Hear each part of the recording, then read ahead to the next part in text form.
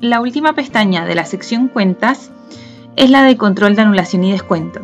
Se utiliza para realizar un seguimiento de los tickets que han sido cancelados, reimpresos, con descuento o cerrados con la función emitido no pagado.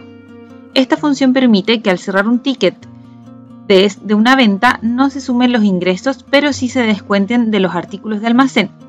Esta opción de pago la puedes utilizar, por ejemplo, para las comidas del personal en el negocio si las ofreces gratis o si el cliente se ha ido sin pagar. También en esta pestaña encontrarás los recibos de los que se eliminaron artículos individuales antes del pago.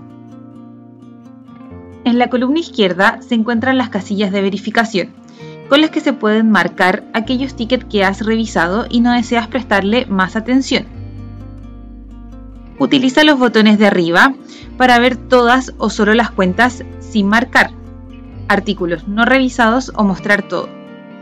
En la lista también encontrarás la fecha exacta del cambio y la mesa donde se ubicó la cuenta. En el caso de un pedido rápido, habrá un espacio vacío en la columna en lugar de la mesa. La posible pérdida indica entonces el valor total por el que se dedujo el recibo debido al cambio. En la columna Cambios efectuados, el icono siempre indicará el motivo de acción. Después de pasar el mouse sobre el icono, se mostrará a qué corresponde. En la pestaña Seleccione, podrás filtrar aquellas operaciones para las que deseas tener una descripción general.